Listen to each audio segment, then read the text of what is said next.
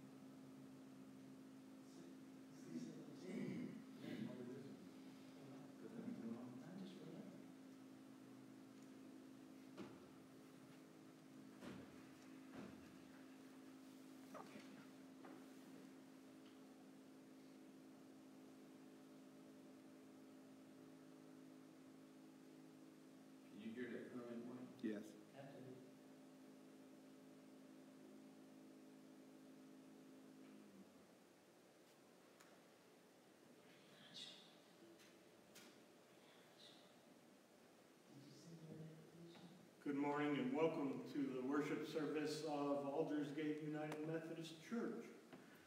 Uh, to understate it, things are a little different today. Normally, I would at this time be encouraging people to sign attendance pads. Uh, but the six of us here, I don't think that would be of much help. Then I would follow with announcements. Um, almost everything that, that we do at this church has uh, been canceled, postponed, rescheduled, and rearranged to meet the extraordinary conditions we find ourselves in as a country and truly as a world. But as someone once said, never let a, a crisis go to waste. In other words, look for opportunities to stay connected, to keep life well lived. It, there are many people who are suffering economically. Their, their jobs are gone. Um, restaurants are, are uh, a great example. And uh, uh, we all know someone who is a server in a restaurant, and they are certainly hurting now. Uh, gift cards. Do whatever you can to help them out. You can order things online, have it sent to, to their homes. Do, do what you can to, to help them keep body and, more importantly, soul together.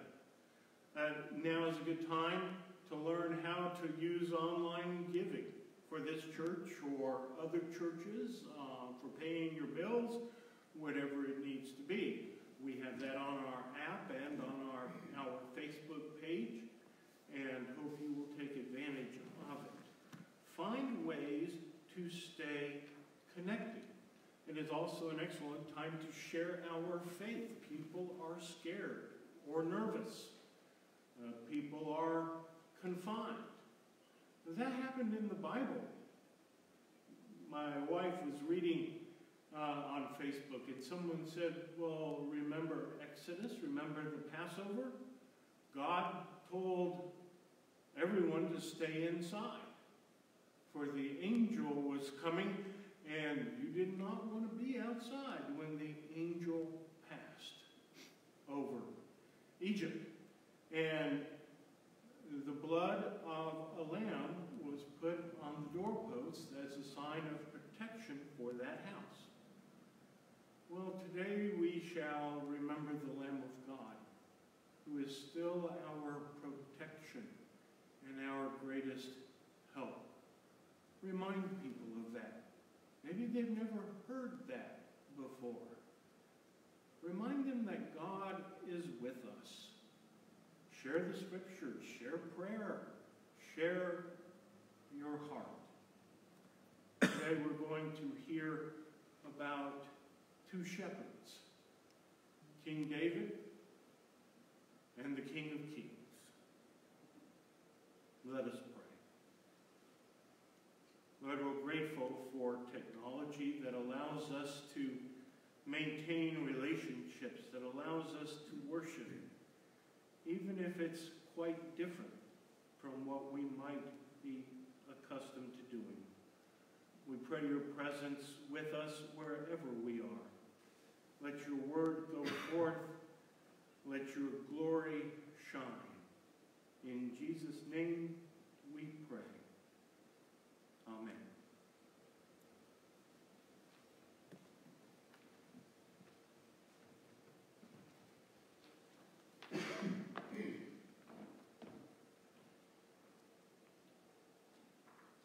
As you may have noticed, uh, Steve was looking around the congregation, looking at the, uh, the four of us sitting in the pews. So if you were wondering about that,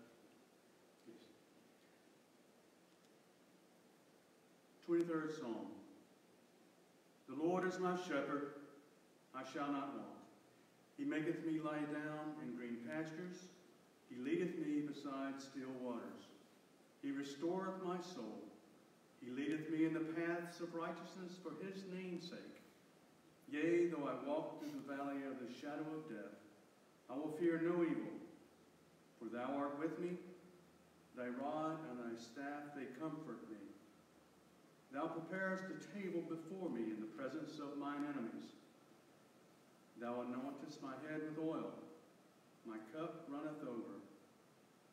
Surely goodness and mercy shall follow me all the days of my life, and I will dwell in the house of the Lord forever.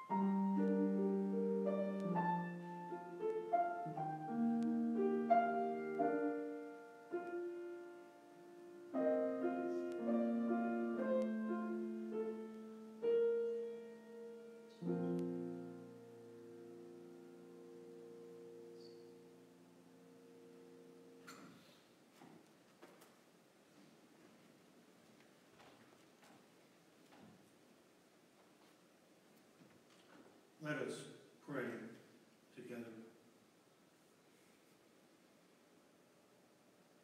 Saving God, who is so gracious and so good beyond our wildest imaginings.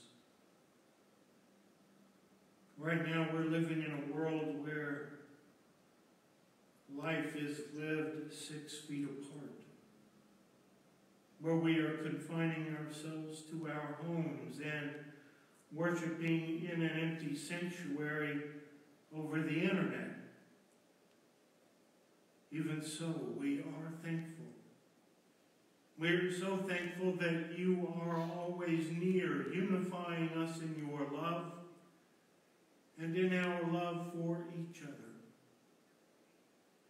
We pray for those who are being hurt by this time, families whose income is diminished, jobs that are lost, healthcare workers who are working exhausting hours, the sick, the worried. We ask you to be with them all. Use this as a time to show us how blessed our even these difficult days, for you are with us. Teach us the joy of choosing sharing over hoarding, putting the needs of others ahead of our own needs. The strength that comes when we work together. The compassion required to love the stranger and to trust you, to trust you in this and all things. Teach us to value our beliefs, to appreciate how they sustain us and how, when lived, they make a better world for all. Inspire us by the power of your Holy Spirit to do great things during these days, even if they are small things. Phone calls to keep connected, text messages, whatever we can do. Grow our compassion for those whose confinement will not end when ours do. We pray that you lead those in our denomination who are charged with moving us into the future. Make them worthy of our confidence in them as they walk obediently to your will. Fill the people of this church with your Holy Spirit, that our leaders will be faithful in their leading, and followers faithful in their following. Keep us true to our mission to make disciples of Jesus Christ so this world is transformed and your kingdom is known on earth as it is in heaven. Keep in your heart and protection all who work for peace, for our troops and their families, for those in government making such difficult decisions. Christians around the globe who are giving so selflessly to better the lives of others and who are being living witnesses to your great love. Be with them all. There are others on our hearts and minds. Hear now our prayers for them.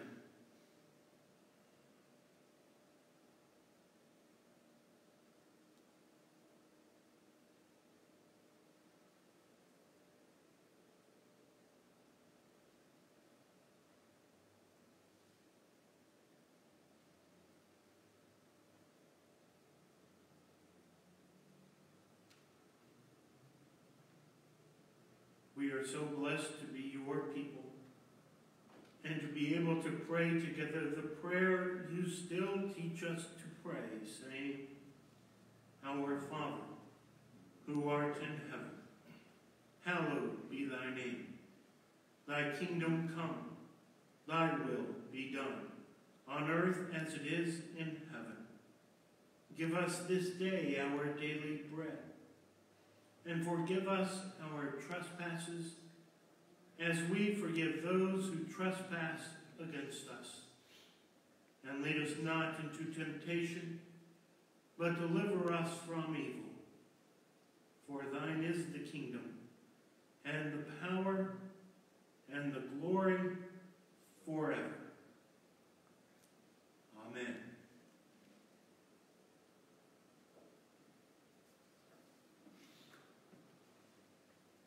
The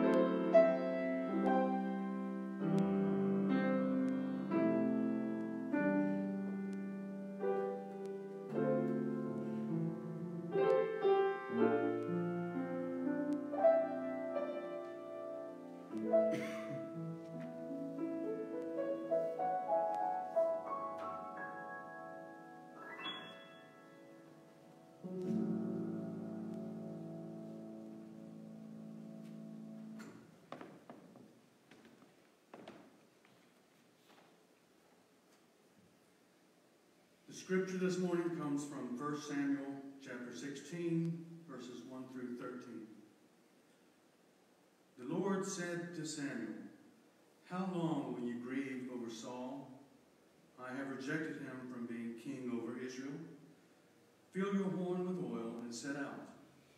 I will send you to Jesse, the Bethlehemite, for I have provided for myself a king among his sons. Samuel said, How can I go? If Saul hears of it, he will kill me. And the Lord said, Take a heifer with you and say, I have come to sacrifice to the Lord. Invite Jesse to the sacrifice, and I will show you what you shall do. And you shall anoint for me the one whom I name to you. Samuel did what the Lord commanded and came to Bethlehem. The elders of the city came to meet him, trembling, and said, Do you come peaceably? He said, Peaceably. I have come to sacrifice to the Lord. Sanctify yourselves and come with me to the sacrifice. And he sanctified Jesse and his sons and invited them to the sacrifice. When they came, he looked on Eliab and thought, Surely the Lord's anointed is now before the Lord. But the Lord said to Samuel, Do not look on his appearance or on his height of his stature, because I have rejected him. For the Lord does not see as mortals see. they look on outward appearance, but the Lord looks on the heart. Then Jesse called Abinadab and made him pass before Samuel. He said, Neither has the Lord chosen this one. Then Jesse made Shammah pass by. And he said, Neither has the Lord chosen this one. Jesse made seven of his sons pass before Samuel. And Samuel said to Jesse, The Lord has not chosen any of these. Samuel said to Jesse, Are all, of these sons here? Your sons here? And he said, There remains yet the youngest, but he is keeping the sheep. And Samuel said to Jesse, Send and bring him, for we will not sit down until he comes here. He sent and brought him in. Now he was ruddy. He had beautiful eyes and was handsome. The Lord said, Rise and anoint him, for this is the one. Then Samuel took the horn of oil and anointed him in the presence of his brothers. And the Spirit of the Lord came mightily upon David from that day forward. Samuel then set out and went to Ramah. The word of God for the people of God. Thanks be to God.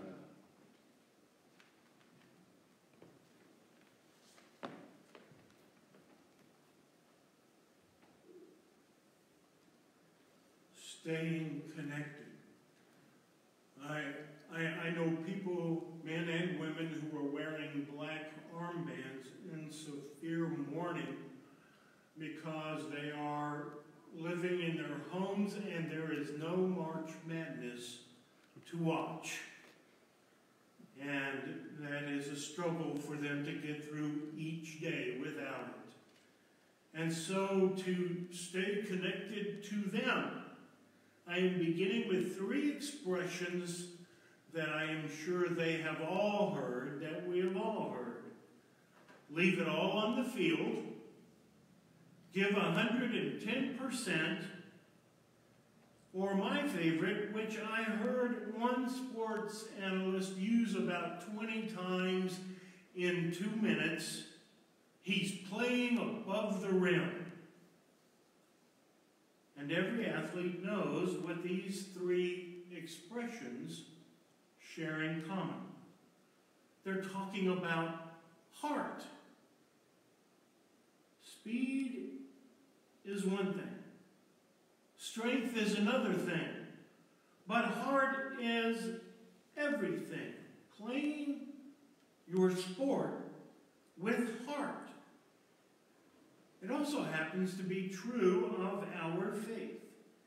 It is a great truth of how God expects us to live our lives as well. The Lord said to Samuel, Do not consider his appearance or height, for I have rejected him. The Lord does not look at the things that people look at. People look at the outward appearance, but the Lord looks at the heart. A drunk husband snuck up the stairs quietly. He looked in the bathroom mirror and bandaged the bumps and bruises he had received in a fight earlier that night. He climbed into bed, smiling at the thought that he had pulled one over on his wife. When morning came, he opened his eyes, and there stood his wife in the worst possible position, with her hands on her hips and leaning forward.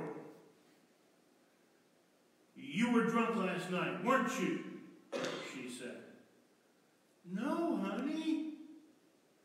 Well, if you weren't, she said with disgust, then who put all the band-aids on the bathroom mirror?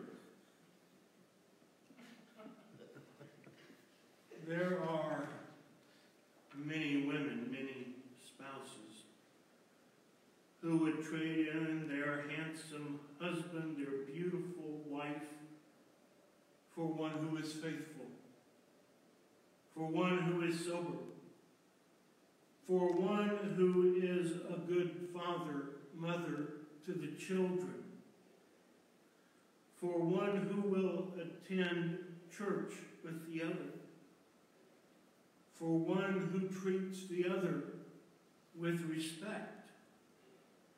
In other words, for one who lives with heart, the heart of God. God does not look upon the outward appearance. God looks upon the heart. The one thing that really matters. What's in here? What's in our heart? And deep down, all already know the truth of this. I love the way he treats me. That's heart. I know she will always be there for me. That's heart. I know I can trust him. That's heart. She's my best friend. God doesn't look upon the outward appearance. God looks upon the heart. Jesus condemned the Pharisees so harshly. I mean, these men tithed. They observed the ceremonial laws, all of them. They memorized entire passages, pages of Scripture.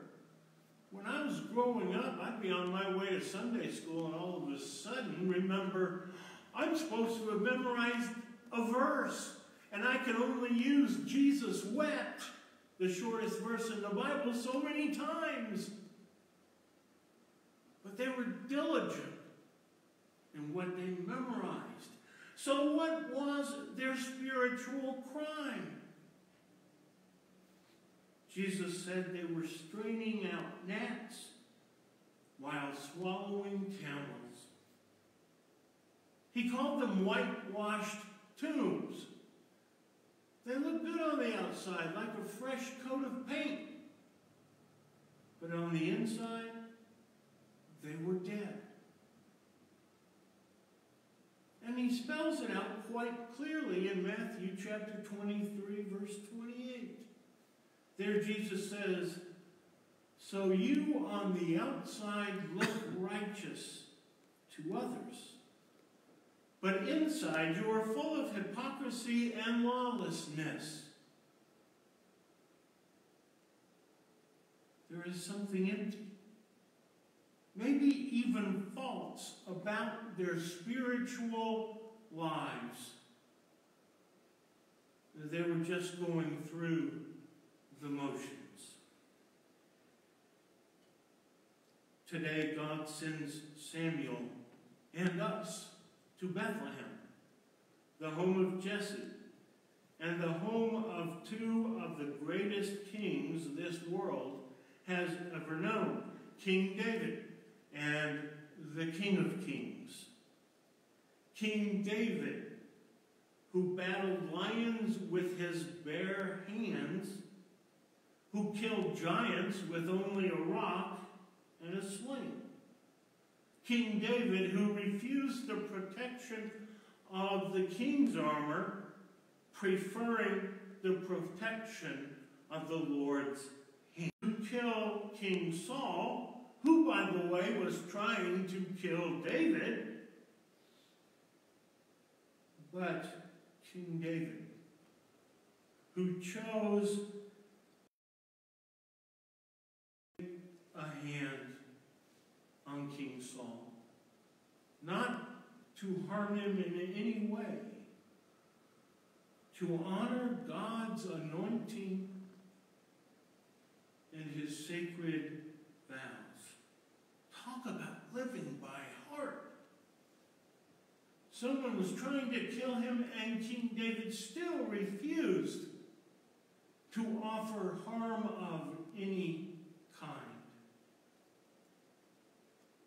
And Jesus, the great shepherd, who guides, who comforts, who rescues and protects, and even dies for those sheep held in his heart. In his heart. Who is in your heart? Is your heart big enough? Is your heart big enough to hold the stranger? Big enough to make room for enemies? Do we have the heart it takes to live the Christian life? God anointed David, and David became king. It doesn't always work out that way. God anointed Isaiah, and he walked around naked for three years. God anointed Saul, and he went blind before becoming Paul. Our faith is sometimes rewarded with being thrust into the limelight, and other times our faith is rewarded with a fiery furnace. But either way, we celebrate for we know God is with us. God has anointed you and me. Do you have the heart it takes to live the Christian life? We are in the days of Lent. And I remind you, it is an excellent time to grow your heart. Spend time in prayer. Spend time reading God's Word. Spend time serving others. Spend time generously giving to others. In re- reaching out to those who are hurting, to those who are nervous or just flat out scared. Spend time in worship. Spend time with fellow believers and lovers of God. Do it by phone, by internet. We have more ways to communicate with each other than ever before. And spite of that, we seem to be so isolated from each other. If we are self confined, whatever phrase we are using nowadays, and discover that we are living our lives as normal, something's wrong. We've lost our ability to relate, to touch, to make a difference. Do all these things, and do you know what will happen? You will that God has raised you up, that God has anointed you, and most of all, best of all, that God is with you. And you will leave it all on the field, and you will give it 110%, and you will play above the rim as you live with heart the Christian's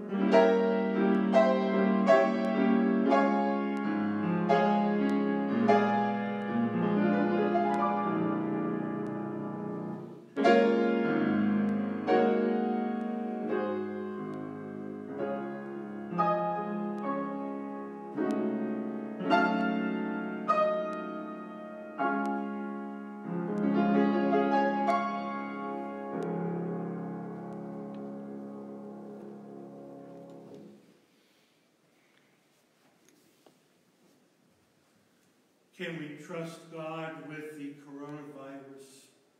Can we trust God with our marriages?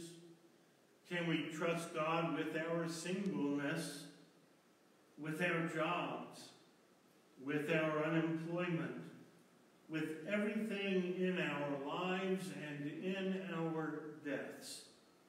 Of course we can. We know God's heart and we know we are in it. So don't listen to commercials this week asking what's in your wallet. Instead, ask what's in your heart. And maybe, I pray it be so, you will be overwhelmed by the love of God, the grace of God, the mercy of God, filling you to overflowing in Jesus' name.